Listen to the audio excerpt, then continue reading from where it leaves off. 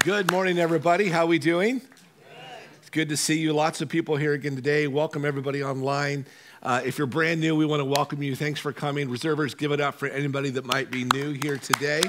Would love uh, love to meet you. Uh, you might hear my voice being a little bit raspy or me having to clear my throat. Uh, been battling what many people are, some of the stuff going around, and so uh, be patient with me, and I'll try to speak slowly and clearly. Good? All right, all right. This, these guys like that. Good over here. Okay, good. Hey, uh, we've been in this. We started this series last week called Clear View where we are and where we believe God is taking us. As I came out, you probably saw we have three stools uh, out here. In just a few minutes, I'm going to have a couple people on staff join me, and we're going to talk to you about our church uh, and keep unpacking some things that we believe God is doing, and you're going to be really blessed today. Now, before we get there, um, I want to kind of frame today around uh, what I believe God is continuing to work and develop in your life and my life and us as a community. If you have your Bibles, and by the way, bring your Bibles, go to Genesis. I think you can find that book. Go to Genesis, it's the first one. Uh, go to Genesis chapter 32. Uh, a lot of you use phones and tablets. That's great. That's awesome. We're going to have it up here on the screen for you as well. If you're new to church, we want to make sure we help you engage with us. Uh, but if you're a community member here at Western Reserve, grab a Bible, mark it up, make notes. I'm saying it every week because you need to give this Bible to a family member someday, to a child someday, and let them see how God uh, worked in you as you le- listened and read the Word of God. So make sure you have a Bible. Genesis chapter 32. Uh, last week, what I did uh, was I opened up the whole uh, series talking about what I call movement moments. And what a movement moment is, is it's a time in your life, it's a specific moment in your life where because of the events that happened in that moment, it changed the trajectory of your life. And we have movement moments, all of us, and you could go back to some. And I gave you kind of a, a laundry list of movement moments in my life where God changed literally the trajectory of my life because something happened in a moment both positive and negative, and we all have them, movement moments. And we're praying as a church, we are praying that we would have in the next weeks, last week, this week, next week, and then the next year to come, that we will have movement moments, that we'll be able to point back to different times in our lives where we said, Man, I remember when God did that. Boy, I cannot believe that God used me to do that. I cannot believe I stepped out and did what God asked me to do. And now uh, it has changed the trajectory of my life. Movement, moments. Well, as we look today, that was the definition of it. Today, I want to talk with you about maybe just a, a, a simple application on how movement moments begin to happen. And I would tell you today that I believe that movement moments are often, are, not all the time, but often activated by a spirit of determination. Let me say it again. Movement moments are often activated by a spirit of determination. Jacob is a great example of that. Jacob in the Bible. That's what we're going to see in Genesis 32. Let me tell you about Jacob. Um, I only have a few minutes here today, and so um, I, I'm going to give you the highlights of his life so we're not just looking at this passage and like out of nowhere. Let me tell you about Jacob. Jacob uh, came from somewhat of a complicated uh, family, and, and kind of like we come from complicated families. Uh, Jacob had a brother, his name was Esau, and, and they had this thing going on, kind of this competition. Jacob was, was a mama's boy, honestly. He liked to stay home, the Bible says, and hang around the tents and camp and so forth. And Esau was a hunter, he was with his dad. And uh, we know that uh, his mom, uh, Jacob's mom, favored him, and Esau's dad favored Esau, so you can imagine what's going on there, you know, in family strife. Uh, we also know that there was a birthright stolen in the Old Testament, that Jacob stole a birthright. And, and so there's this more stuff, there's more stuff going on there between these two brothers. So much so at one point that, uh, that Jacob had to move to his uncle's territory and, um, and Laban and live there for several years. And somewhere in the midst of all of that time, and you can go back and read the whole story, uh, we know that, that Esau was going to be coming and visiting Jacob. And Jacob did not know what the visit was going to be. Was it going to be, I'm going to come and, and say to you, curtains, bud, or are we going to reunite as brothers or whatever? And Jacob, I believe, was afraid. And, and Jacob took his family, his entire um, entourage, if you will, they left Laban, and where we pick up the story here is they're on their journey.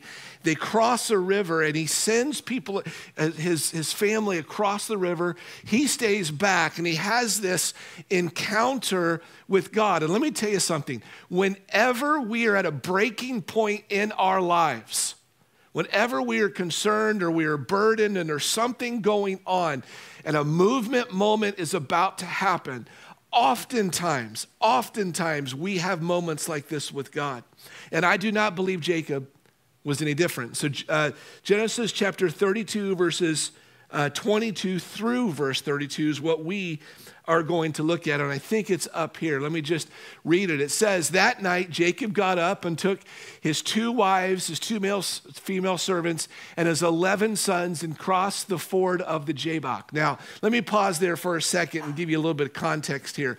You know, today, many times the Bible comes under scrutiny, and God comes under scrutiny because of things like this where Jacob had two wives and, and all that whole thing going on. And we're like, well, there's polygamy in the Bible. And, you know, and people kind of attack the Lord that way. I want you to always remember something when you're reading scripture. There is a difference between description and prescription. Always remember that. What we see here is a description of what was going on in uh, Jacob's life in the context of his life and that culture all right? But this is not a prescription for how people are supposed to act. Understand that. Many times God describes, He's not prescribing, He's describing what was going on. Whenever Jesus talked about marriage, he went all the way back to Genesis when marriage was between a man and a woman. Whenever God speaks about marriage, he talks about it in a singular view, all right? This is a description of what they were doing, and God still used them, but God's not endorsing that. Make sense? Get it? Good. There's your clear view of God today. Drop the mic. Okay, let's go. Let's move on here. I don't want you to get all worked up about that because that's important. Verse 23 After he had sent them across the stream, he sent over all of his possessions. So Jacob was left alone, and a man wrestled with him till daybreak. When the man saw that he could not overpower him, he touched the socket of Jacob's hip so that his hip was wrenched as he wrestled with the man. Then the man said, Let me go, for it is daybreak. But Jacob replied, Listen to this I will not let you go unless you bless me. The man asked him, What is your name? Jacob, he answered. Then the man said, Your name will no longer be Jacob, but Israel, because you have struggled with God and with humans, and notice, and have overcome. Jacob said, Please tell me your name. But he replied, Why do you ask my name? And then he blessed him there. So Jacob called the place Peniel, saying, is because I saw God face to face, and yet my life was spared. The sun rose above him as he passed Peniel, and he was limping. Listen to that. Now, notice that. He was limping because of his hip. Therefore, to this day, the Israelites do not eat the tendon attached to the socket of the hip, because the socket of Jacob's hip was touched near the tendon. Now, there's a bunch of things in that passage that, that we could talk about in a class setting sometime, but I want to help us see some huge things and get a clear view of God and His work. You see, God often uses, and you see it in Jacob's life, often uses our spirit of determination to open our eyes to His miraculous work. He often uses our spirit of determination to open our eyes to his miraculous work. Jacob had a spirit of determination. I am not going to let you go, God. I'm going to wrestle in the presence of God. I'm going to fight for the power of God so that I can enjoy the purpose of God in my life. You ever been there? And Jacob was not going to let go, and God often I use the word activate at the beginning, and I'll say he uses our spirit of determination to open our eyes to his miraculous work. He was determined to receive God's blessing. His spirit, notice this, his spirit would not be broken. And Jacob knew, and so do we today. Jacob knew the only way forward was God keeping his promise and going before him. It was the only way forward for Jacob. He didn't know what the future would hold. But God had to be the one that did something. So, what did he do? He stayed in the presence of God until he received the power of God to go forward in the purpose of God. And we need to remember this just from that short overview and understanding of that story. We need to remember that the devil will try everything that he can. Don't miss it. He will try everything that he can to squelch your spirit of determination to receive the blessing of God. He will distract you, he will make you believe your doubts, he will put somebody critical in your life. He'll do something to squelch your spirit of determination. And for you and for me personally, us as a community, He will keep at the forefront of your mind things like pain, the pain that you are facing, or the pain that you have had, and not believe that God will keep His promises. Maybe mistakes. You see, I believe that mistakes um, keep us, because we live according to our mistakes, keep us from receiving the blessing of God. I read this week that success happens when we stand on top of our mistakes, but the problem is, is that most, most people live under the weight of them. And the devil is going to make sure that he tempts you to live under the weight of your mistakes rather than standing on top of the mistakes that you have made and asking God to use them as a place of learning and of launching into the life that He's called you to. He will use things like disappointment, disappointment with your life now, your context. You thought you would be somewhere else by now, but you are not, and you're disappointed. He will use people to break your spirit of determination. He will use negative influencers. He will use doubters. And he will even use you yourself to kill the spirit of determination. Please do not underestimate the power and the influence of our enemy. It is real. And the spirit of determination to wrestle and fight and hold on to God and his presence, his power, and his purpose. That's where he begins his miraculous work. And so, what must we do? What must we do? Well, the Bible says in Psalm 34, verse 8, to taste and see that the Lord is good. Blessed is the one who takes refuge in him. In Matthew 17, there was a father who had a demon possessed boy. And the father went to uh, all of the disciples to say, Hey, can you help me? And the disciples couldn't do it. The disciples could not cast the demon out.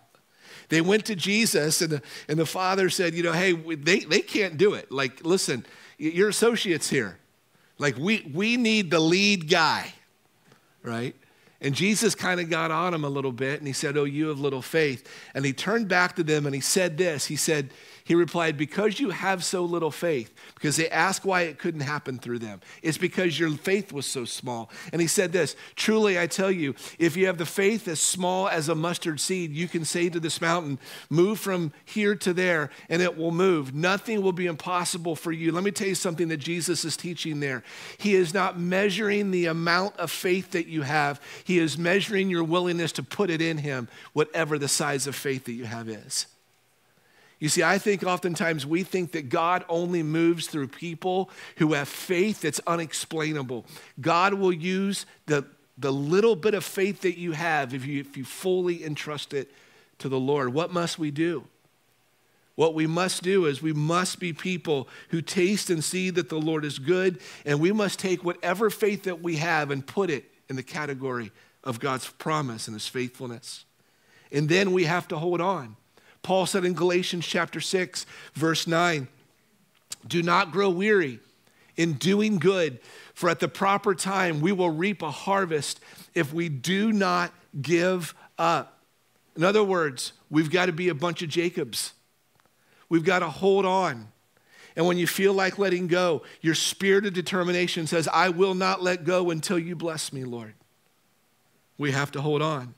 And so, if the Lord is good, and He is, and we, through a spirit of determination, do not give up until He blesses us, and we'll put whatever amount of faith that we have in the goodness of God, He promises to bless us. Now, that looks, how that looks is God's timing. Excuse me, when it happens is God time is God's timing. How it looks is God's decision. But we must determine to wrestle for as long as it takes. And when we are through the season that we face, we might limp a little. We just might limp a little. See, I've come to believe this. I believe that prideful people walk with a strut, but surrendered people walk with a limp. I believe that. And I'm not talking about being self deprecating at all. What I'm talking about is someone who has spent time in the presence of God. And in the presence of God is waiting for the power of God so that they might see the purpose of God. And sometimes, in fact, oftentimes, he leaves a limp so you can be reminded that his power, his purpose that's found in his presence is what has caused you to be doing and living the life that you are now. Surrendered people walk with a limp, prideful people walk with a strut. Don't forget that. I've told you that I uh, had a severe stuttering problem when I was in high school and younger than that. God healed me of that stuttering problem, but you know how good God was? He still allows me to stutter every once in a while. You've heard me do it. And I'll say things like, Don't worry, I'll get it out. And I'll kind of make fun of myself. But you know what it is? It's a reminder that I walk with a limp. It's good. Don't be upset if God says, I want you to limp. It's all right and let it be a reminder that you met with God. Get it? Good. So, what is the movement moment that you are praying for? What is it? Name it to the Lord. And you resolve this day, you resolve to have a spirit of determination Tell your life group about it, or at least someone that is serving Jesus alongside you. Don't just call a childhood friend. Don't just call, don't just tell somebody in the cubicle at work. No, I'm talking about someone who's going to journey with you. I'm talking about someone that, that uh, knows that they have the freedom to put their boot just where it needs to be put when you are acting the way you shouldn't act. I'm talking about people that will pray for you. I'm talking about people that will love you. Tell someone, pray for it, and pray for one another. As I said, I only had a few minutes, and so I hope that encourages you today. It encourages me. I encourages me. I wrote this message, um, and boy, I could keep going, and I could walk around, and I could preach it, baby. But, um, but I want you to be encouraged. Okay. You see, we have, we have the same spirit of determination in our church, probably more than we've ever had. You are standing in front of a pastor who has a spirit of determination that he's probably never had. It's different. It's different. And um, I believe you have it. I've never seen you the way that you are now. I've not seen this kind of deep, godly tenacity, wanting more from God that I see now. Uh, we have great vision. Uh, God is faithful, and we've seen it. We've seen it. We relaunched this church three years ago, building it really from the ground up again. Uh, we threw out the playbook. This is review, I know, and sought God for his provision. We wrestled, we debated. I certainly doubted. Uh, I remember a day after COVID, we had 15 people here. I remember. and yet, God came out with his blessing upon us. And we have obstacles, but our God is able, and we will not let go. And we will come out and we will walk with limps, and we're going to rejoice in those limps because God is the one that we are surrendered to. Okay? Get it? Good. All right, I had 20 minutes and I went 20 minutes and 35 seconds. That's pretty good for Jason. All right, it's pretty good. It's pretty good. All right, so you know that. So I want to invite out uh, uh, Lawrence, Pastor Lawrence, and Sarah to come on out. Give them a Western Reserve welcome. Here they come. You can move your chairs wherever you want to do it. Uh, and I'm going to step aside, but before I do that, um, let me just kind of frame a little bit as, as they've joined us here, uh, frame what they're going to be doing. They're going to be talking about. Um, they're going to be talking about our children's ministry, and they're going to be talking about um, our adult ministries and our give it away ministries. Uh, let me tell you something the people that sit behind me um, are why much of what has happened is happening. Um, I owe much to these two, uh, and there's other people as well, but I'm very, very grateful for these guys, and you're going to hear that here today. Um, so let me just kind of frame for you again. I use that word a lot, where we are and why, why we're going where we are a children's ministry before they talk about it. As we had transition in staff, and um, there, uh, we began to talk to people about taking uh, this role. And as I was, I was the one talking to people. And as I learned more and more about uh, kind of where we are and where, what's happening, and we're seeing our church move, um, I was very clearly, uh, or very able, I should say, clearly able uh, to say where I wanted our children's ministry to be in five to 10 years. I never have a problem doing that. You guys know me, right? I can tell you right where we want to be. My problem was I didn't really know where we were. and so as I spoke to people, I said, they would ask questions. I'm like, well, you know, I don't really know. I better figure that out. And so what we decided to do was we decided to, the illustration I'm using is get our head underneath the hood and try to understand where we were, where we're going, what needs to happen according to our culture, is what I mean by that. Our culture, what needs to happen, how it needs to look. Uh, well, just through that realization, God has put together an incredible plan that I uh, can't believe. And this is absolutely the way we need to go. And so I couldn't be, honestly, I couldn't be more excited about it. And so uh, as we've been meeting, I bet we've probably met 20, 25 hours together uh, in my office. And they've seen more of me than they want to for the past few weeks. I've driven pretty hard. Uh, but this is what's come out of it, and uh, we're excited. So I'm going to turn this over to them, and you guys can go crazy.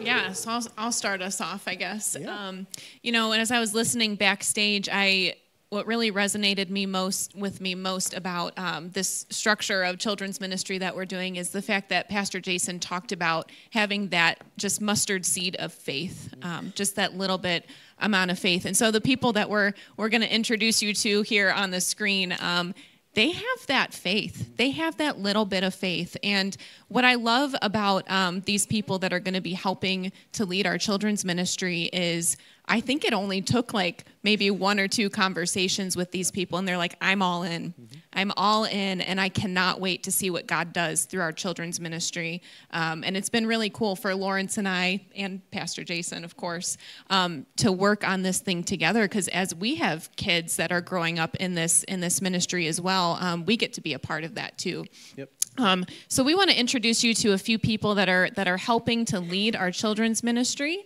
Um, they're going to see their pictures here up on the screen, and if you're in this room, I don't know if all of you are, but if you could just wave your hand so we can say hi to you. Um, first, we have Brent and Krista Runkle. Um, Brent and Krista Runkle, um, are you guys in here? They might be serving back in the check-in. They are back there. Awesome. If you can hear us, hello. Uh, your picture's on the screen. Um, Brent and Krista Runkle, they are going to be leading our admin team. And so, what this means is they're going to be doing all of the scheduling for the children's volunteers. They're going to be working behind the scenes um, with systems and trainings and working with Pastor Lawrence on, on those things as well, because Lawrence, you're more of a systems person bit. than I am. Bit, yeah. I just tend to go and keep going. so uh, he reins me in a little bit. But um, they're going to be working on that. They're also going to be overseeing our check in and check out procedures. Um, so we're going to be cleaning some things up there and making that um, even more secure for parents and children. Um, in the future days. So, Brent and Krista Runkle, if you see them, give them lots of hugs. Um, next, we have. Ask them first. yeah. I don't know. Might want to. Like I said, I just go. I'm like, hey, get over here. Um, the next person we have here up on the screen is Emily Cinco, and that's my sister, so I like her a lot. Hmm. Yeah, I like her a lot. Um, she um, she's married to Greg. That's my brother-in-law, um, and their kids are Max and Jake. Uh, so those are my nephews. But um, anyway, we didn't ask her to do this position because she's related to me. We asked her to do this position because she is awesome at organization and administration, and she really does come alive when it comes to teaching kids about Jesus. I've seen it, um, witnessed it, and she just she has a whole mind for this. So Emily is coordinating our curriculum. Um, she's going to be working week to week to read through all the lessons for all the different age groups and picking all of the activities that go along with that um, and making sure that those work well in the classroom. So another part of that she's going to be doing weekly, um, she's setting up the classrooms every week, printing off curriculum, buying the supplies, um, organizing that all for the teachers. But she's also acting as our classroom classroom host. And so, what that means is she's going to go room to room every single week um, that she's scheduled. Of course, we're going to give her breaks. That's kind of where you guys come in. She'll need some help with that. Um, but going classroom to classroom, checking in with the teachers. Hey, do you need anything? Do you have any questions about the lesson? Do you need a glue stick? Um, things like that. So she's going to be really the, the a hug. A hug. She's yeah. not a hugger. She's not. if you want a hug, you can come hug me, and then you can give her a, a high five or whatever. Um, so so that's Emily's role. Um, next, we have Heidi Jackson. I mentioned her earlier. I know she's over there. Hi, Heidi. Um, Heidi is our events coordinator for for Reserve Kids, and so she's she's taking on Night in Bethlehem. And actually, she came to us um, before we had asked her to step into this role, and she said, "Hey, like I'd really like to coordinate this event. I love this event. It's great for families and kids, and I'm really passionate about it. So would you let me?" Coordinate this event? And of course, we said yes, absolutely. And so that just led to some more conversations about, you know, what her passion is and how she can serve in children's ministry. And again, it's just that that little bit of faith, that little bit of faith that not only Heidi had, but these other people as well to step in, fill these gaps that we need. And man, they are coming to life. Yeah. It's really, really cool. So um, those are our children's leaders, and of course, um, Pastor Lawrence and I and Pastor Jason we're staff support. So we are meeting with these people. We're helping to support them um, in whatever way that we can. So, but in addition to that, um, there are many of you who already serve in the children's ministry, and we thank you. Um, but we still need a few more helpers, and especially with these new leaders, um, we're a team, we're a family here at church, and so part of that is supporting one another in our ministries. Um, so Lawrence is going to talk a little bit about what we need specifically. Yeah.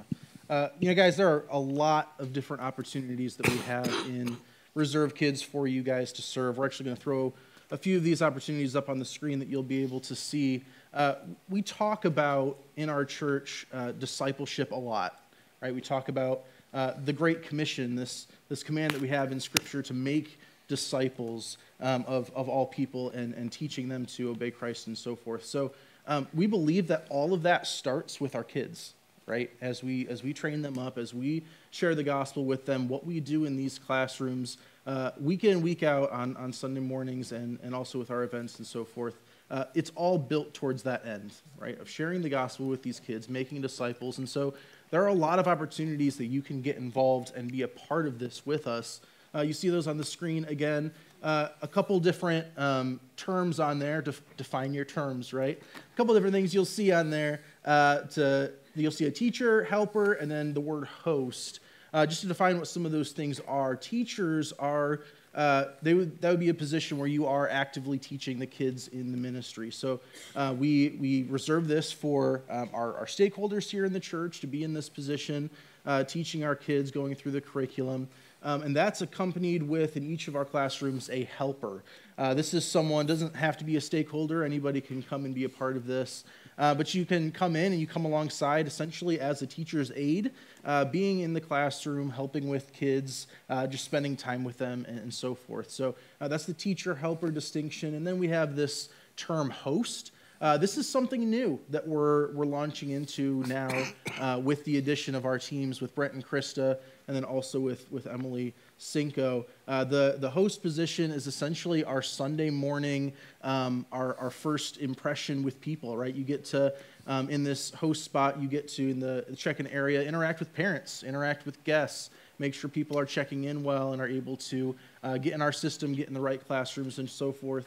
Uh, and then we also have a classroom host. This is what Emily is doing, uh, walking the halls, interacting with volunteers, asking uh, what you may need in each classroom and, and how you can be of any uh, assistance. And so there's a lot of different roles, a lot of different opportunities. Um, we ask you to look at this list. Um, of different positions, different helper positions, teacher positions, host positions. If there's something you're looking at on that list and you say, I want to be a part of that, right? I want to be a part of that classroom. I want to teach these kids. I want to be a part of this movement that God is doing here in our church. Uh, come and talk to us, right? And we, we would love to get you plugged in uh, into the right. And, and, Lawrence, what is our, our goal? What, we're ask, what are we asking the Lord to provide as far as number of volunteers? Yeah, uh, we're asking uh, for total in our ministry. We're asking God to provide uh, 30 total volunteers uh, in in the classroom. Right now, uh, we're about 23. Three, I think. Yeah. Okay uh, 23, and we're, we're asking God to bring in uh, those extra numbers in those spots that you saw on, on the screen. Yeah. And, and what does that do then? If we have that many, what does that do as far as uh, covering all of our bases? Yeah, uh, that, that does cover all of the, the needs, all the different spots uh, in the ministry that, that we need covered. Uh, and it also provides us a little bit of a cushion yeah. for people that maybe you, you, you get sick and you're not able to come uh, or you, are going on vacation. It gives us a little bit of a buffer, uh, extra volunteers in the classrooms to be able to cover some of those, those empty spots. Yeah. So. Absolutely. I wanted to add too, uh, we made that slide on Thursday, I think, mm-hmm. and since then we've actually added two or three more volunteers. Yeah. So praise the. Lord, you guys are already stepping up before we even got up mm-hmm. here. So I think that's really cool how the Lord aligns that. But I wanted to mention too, if if you're sitting there wondering like, yeah, that sounds really good. I wonder, I wonder how I can be involved in that. Again, you can talk to us. You can talk to Brent and Krista. They're going to be the ones that are getting you on the schedule and getting you onboarded. So probably be better if you you talk directly to them. That way, we don't have to be the middleman, but of course, we can help you. Um, one thing I did want to add too is um, something that we're asking our current volunteer team to just consider and pray about is this possibility of serving um, more than once a month. Um, a lot of our teams here in the church actually uh, serve at least twice a month. And the reason why we're asking that in children's ministry, and we know that that's a big ask um, because in other areas of the church, you can actually serve and attend church, and, and you can't do that when you're in a classroom, right? Like if you're actively teaching kids twice a month, you're, you're not in here twice a month. And so we know that's a huge ask. Um, but the reason why we're asking our volunteers to consider and pray about that is uh, we really want to build consistency for our kids. Right. Um, there's many of you who maybe grew up in church and you can think back to you know that sunday school teacher that was always there mm-hmm. um, and they helped you out and so we really want to build that for our children as we're discipling them in christ um, so if you're if you're coming along with us on this uh, team we would ask that you would consider praying about that and just seeing you know how the lord can use you in a child's life just by showing up consistently so um, but next i wanted i think we can move to the next yeah, thing right okay absolutely. good want to make sure we didn't miss anything but what was neat is Lawrence and I actually had the opportunity to sit down with, um, I would say, pretty much everyone in our children's uh, ministry. We were missing a couple people just due to scheduling conflicts. Um, but we got to sit down with them over the course of three meetings over two nights. Um, and many of you in this room were, were there with us. And you gave us a lot of really great feedback. And we were super encouraged mm-hmm. by those meetings, just hearing about why you enjoy serving in children's ministry. And what was interesting to us, um, and I want to note this here because I think maybe it will help anybody that might be on the fence about serving in children's ministry, is actually one of the number one reasons these volunteers love serving in this ministry is to help you parents Um, they said, We love giving parents the opportunity to attend church and be distraction free from their kids. That's what, that's what your children's volunteers said. And we just thought that was really cool.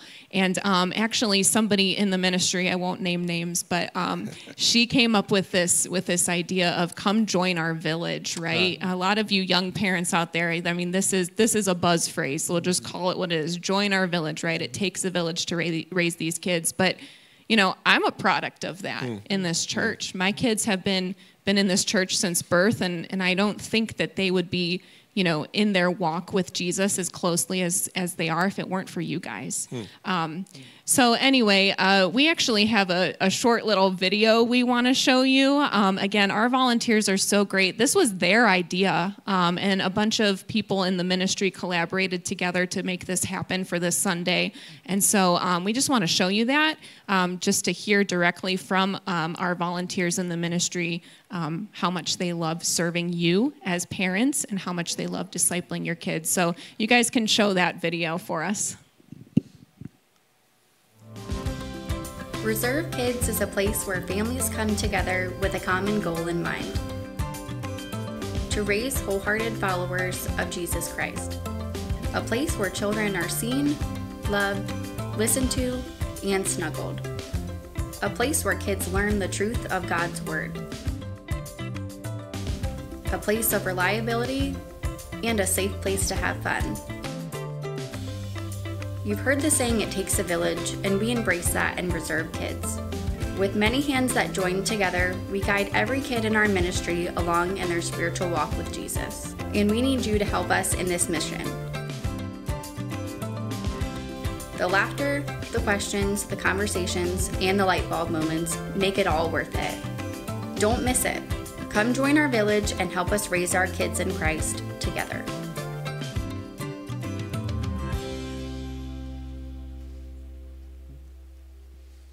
Right, very good. Yeah, so um, guys, I'm just I'm super excited. I'm so proud of of our volunteers and, and this family. I'll talk more about that in just a moment.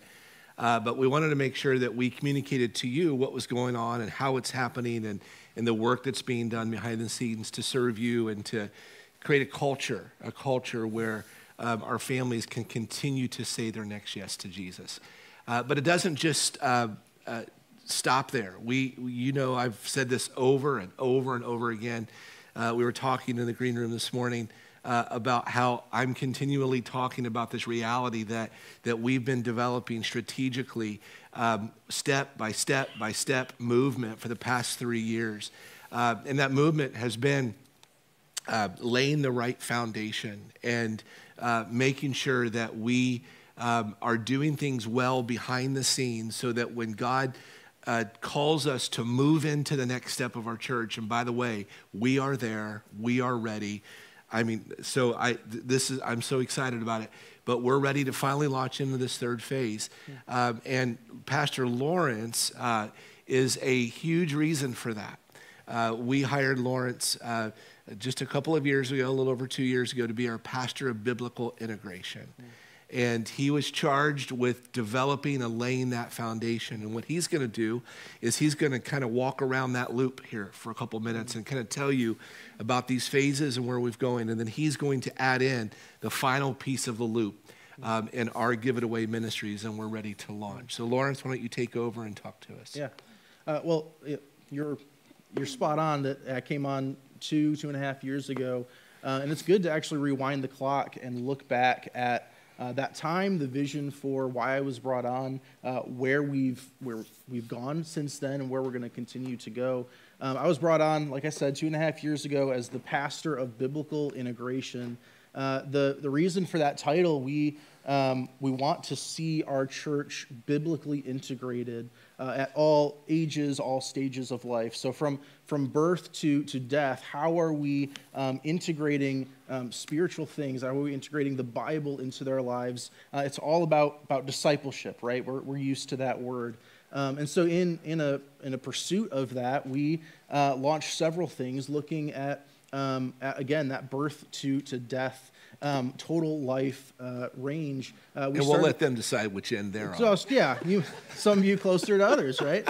Um, no, but starting with that with that birth, right in our in our kids ministry, uh, looking at how we're we're conducting ourselves there. What is the curriculum that we're using?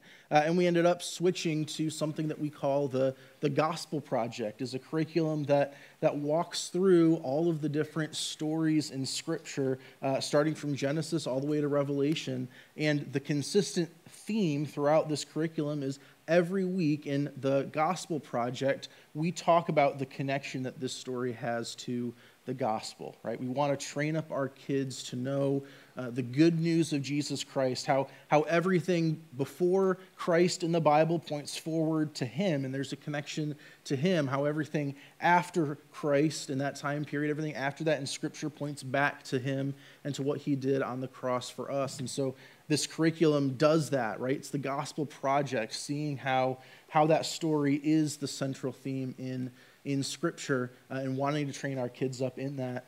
Uh, in, in student ministry, we did the same thing, looking at our curriculum, what we're using, how can we, we change this and uh, be biblically integrated, teaching our, our students how, how they can be good uh, followers of Jesus Christ, how they can further grow in, in discipleship. And Emily has done an incredible job uh, carrying that out in, in her ministry, and so we're grateful for it.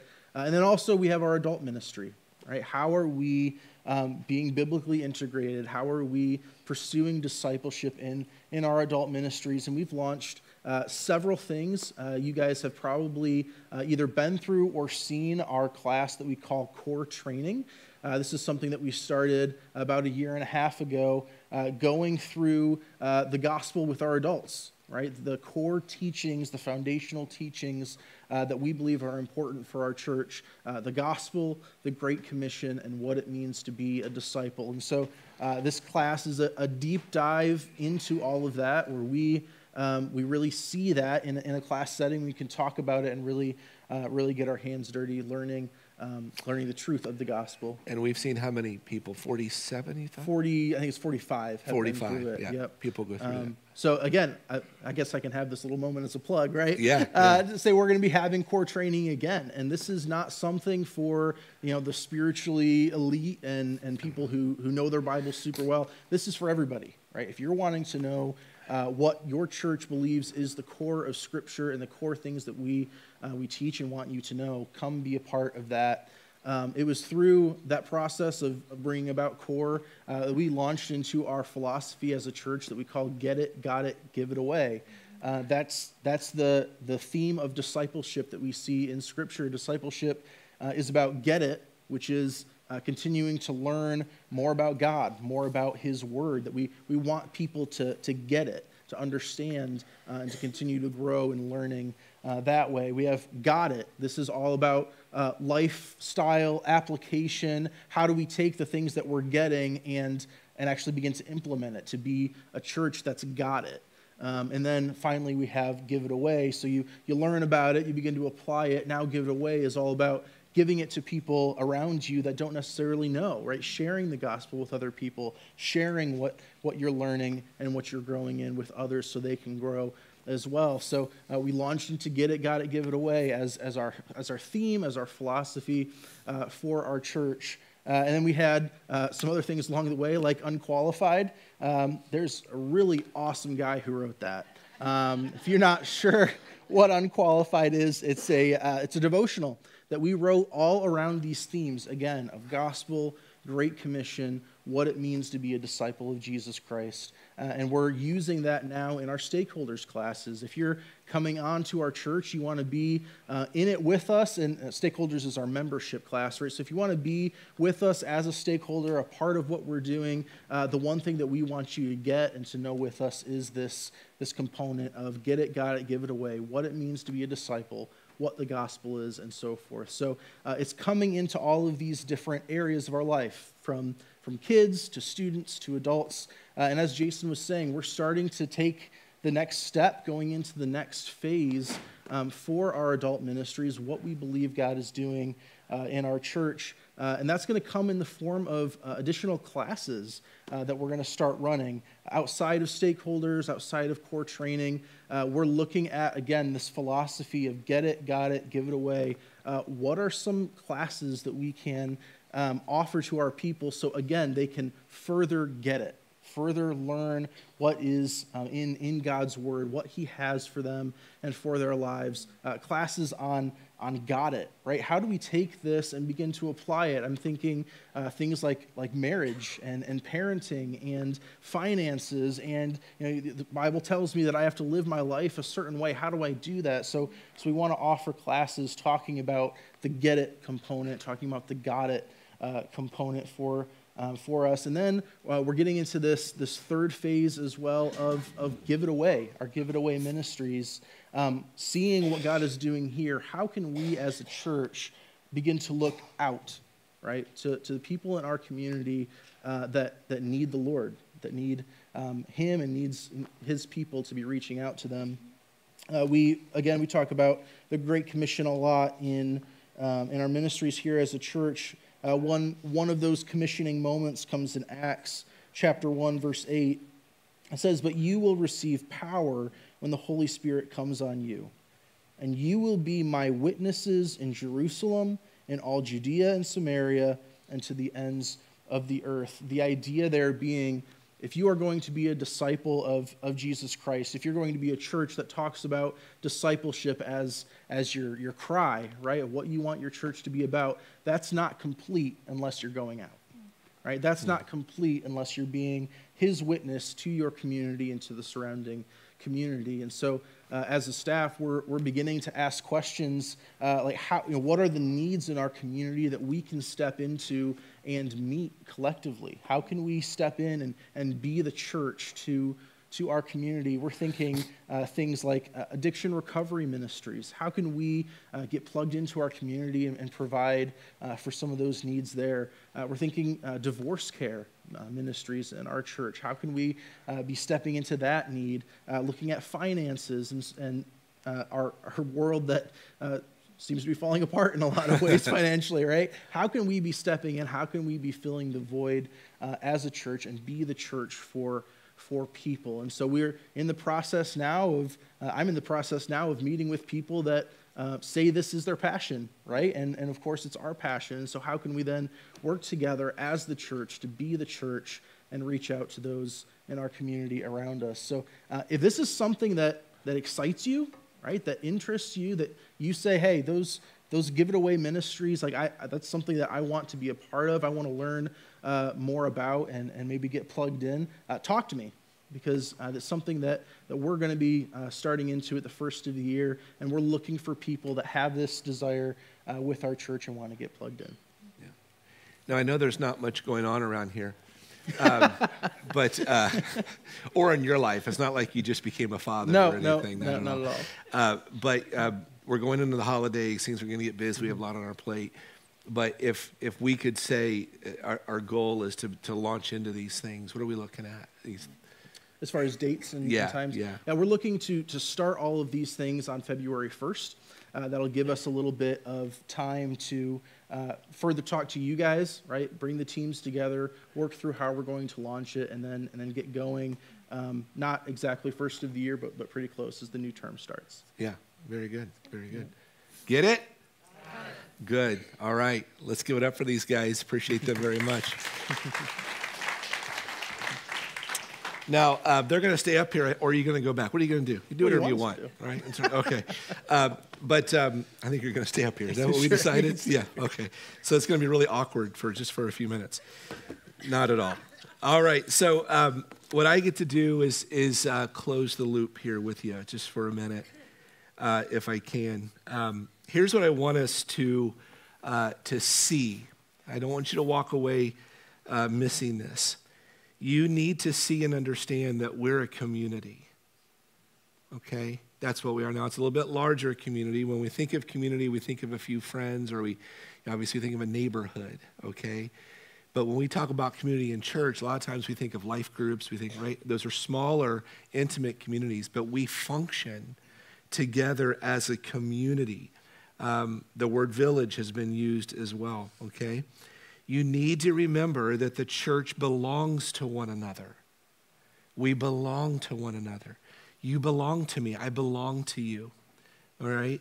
Please remember that. Um, this church is amazing. I asked, because uh, I didn't know actually know the numbers, I asked yesterday the number of people serving in different ministries. And there's about 110 to 120 different people, different volunteers volunteering in our ministry every week to be a part of everything that happens in our church, both here behind the scenes. Um, you need to know this is your church. It's our church together. It's not Jason's church. Please don't call it that. Um, it's us. We are, we are a where you go, I go people. Okay? That's what we are, and that's what I want to continue to build. Okay? Now, I'll tell you something, though. If I can be honest with you, um, uh, whenever we are moving, we were praying about this in the green room this morning um, that whenever we are stepping out, we're stepping out with an after school program, we're stepping out with uh, the daycare that we're praying to God. This is all missional, it's all, all these things that we're doing and uh, raising revenue. Whenever we're stepping out and doing these, these bigger things, we need to remember that giants loom. And they want to bring us down. I reread this week the story of David and Goliath. Let me tell you something that I saw that I've probably seen before, but I was reminded of it as if it was the first time. But I saw that David went behind, he, he brought food or whatever, you know, things that he messages, things like that. He was small, he was all those things, right? Underdog. And he came in behind the lines, and, and uh, the giants were mocking them. Every day they'd come out like at five o'clock and tell them how much of a loser they were, a nation, all this, right? David came out and he started asking questions about the giants his brother rebuked him. Go back and read it. He rebuked him. And he said, Who are you? You know, David then turned to start talking to somebody else. And then he, then he went on and he said, You know what? He said, Who are these Philistines that they should defy the armies of the living God? He was discouraged. He was mocked. He was attacked by family. And what did he do? he stepped out and he faced the giant. And he says, You know what? You all do what you want to do, but my God is able. And I think that we as a church are ready to step out. I'm ready to step out. And I hope that you'll step out with me. So let me close the loop and tell you uh, some things here, just review some things. Um, uh, Doug Justice was up here last week and shared our obstacle, which is finances, and will probably be every church has its thing. That's our thing, right? And uh, but it's just what we have to continue to ask God to provide. We need obstacles, so we trust the Lord. It's our limp, okay? But we laid out a plan with you. We're working really hard. It's up here um, on the screen. Our plan, so you know, to address our obstacle is we're cutting uh, 2024 expenses by about 60K plus. Believe it or not, that's actually sustainable. Um, and we, we're going to meet this week. We just, we're also busy because of Thanksgiving. We'll talk budget in, in a week from this week with the elders, and we've already been doing it, but that's, we'll get a final number, okay? Uh, we're taking a year end offering. Uh, that's huge. Remember, Doug said that we're, we need about $70,000, $80,000 to hit budget. So we just need to do that together. All right, um, we're going to be campaigning for increased giving. Um, I'll talk with you about that in just a moment. Uh, we're developing after school and daycare. After school, uh, we're closer than certainly the daycare. But one of the things that I talked to Brent this week, one of the things we're facing is what are we going to do about transportation? So we need you to pray about that. We don't know how that's going to work yet, okay? And that's an obstacle. And the Lord just needs to handle that and take care of it, and He will. So if you want to donate a bunch of vans, let me know okay? Okay, go ahead. All right, um, and then we're going to do a 2024 financial campaign. Uh, we were slated to meet with some advisors this past week, some consultants. Um, I'm sick. Um, I've been sick, so I couldn't do that. So we're, we are rescheduling that, and we'll let you know uh, when we uh, can do that. Okay. So that's our plan. We're going about it. Go to the next slide. I don't remember what's next. Oh yeah. Okay. Um, How about those thermometers? There you go, give it up. We're doing well. We're at 1% and 0%. That's encouraging. Okay, no, we just started it. Just want to, we're going to try to show these with you. Doug said it's between 70 and 80,000 for a year-end offering. Um, we, uh, I'm just putting it at 80,000. Um, and we've seen $1,200 come in already, so we're 1%. Praise the Lord. We're at 1%. We'll take that, right? We want to see this happen over the next month uh, or so before the first of the year. And then increased giving, we're praying that we would see uh, $50,000 in increased giving. I, we just, we're just launched that. Um, and uh, just so you know, when we look at that, um, it seems like a pretty overwhelming goal. It really isn't. Uh, as a community, we have about 112 giving units. You can do the math what that is per unit. It isn't a big deal. It really isn't. It's just whether or not we're going to own it together. Okay, and so I'm going to boldly and unapologetically ask you uh, to be a part of this uh, and to increase your giving. Some of you can increase it a lot, some of you cannot, but we need to be a part and we need to raise that giving, okay? It's all part of the plan that we're going to keep talking about. You're going to be like, he's talking about it again. Yep, I am, okay? All right, next slide. There it is. Okay, so this is just a, a snapshot. If you go online, um, you can see donations. Go to wrgc.life, go to giving, and these are the things that pop up. This might be too much information for you, but we want to equip you. And there's places that you can click down, okay? 2023 year in gifts, you can go there online, make a donation, you go to general, general fund, all those different categories. It's how you do it. And we're asking everybody to, to do that and um, to be a part of that, okay? And we'll, we'll keep tracking. Right? Does that make sense? Get it? Okay, I was trying to equip you. Is there another one that I have up here? Nope? Okay, good. So I'm done. Let's, let's get, no, uh, I really am done. We are done. Uh, can I just ask you to appreciate uh, two of our team members? We have more, but these two, appreciate them so much. Um, uh, Lawrence and Sarah, why don't you, let's pray. The team can start coming out, but why don't we pray for our children's um, team leaders and uh, the ministry, and then just that God would provide. Can you guys go ahead and pray? And, and then we'll, we'll change out. So let's pray together. Go ahead. Lord, we just, um, first of all, we're so grateful, Lord. We're grateful for this church that you've built for us. We're grateful for these people that um, you've come and put us all together, God, with different gifts and skills and abilities, Lord. It's, it's really amazing, and so we're thankful. God, we just lift up our children's volunteers to you, the Runkles and Emily and Heidi, and also um, Emily and Heidi's families too, as um, as they're giving up their time and and resources to be a part of what we're doing in, in Reserve Kids, God. We pray that you would protect their marriages, um, that you would protect relationships with their kids, and God, that you would just give them, um, God, just these little breadcrumbs of faith and breadcrumbs of just um, outpouring of of what you're doing through them, Lord, so that way they can just keep going. I pray that our church can uh, just rally around these people and support them well, um, to join their teams, Lord, to see the bigger picture of of why we do this, Lord, and it's all for your glory, your name, and and for kids to come to know you as their Savior, Lord. God, I just want to want to thank you for this church. I want to thank you for this this vision that you've given us, this vision that you provided for us in your word, that we get to come together around this, this commission to, to share your truth, to make disciples, starting with our, our kids' ministry and, and on up. Thinking specifically about our kids, God, I pray that you'll bless this movement that's starting in that ministry with these new leaders, thinking of the Runkles, thinking of Emily Cinco, thinking of Heidi Jackson. The passion that they have to serve you, the passion that they have to, to use their gifts uh, for you in this ministry.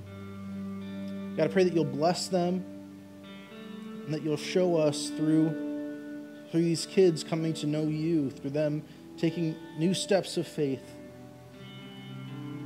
we'll be able to, to look back and say, God, you did that. Hmm. And we thank you for it. So we ask for your presence, God. We ask for this all for your glory. In your name, amen. Amen. Thanks, guys.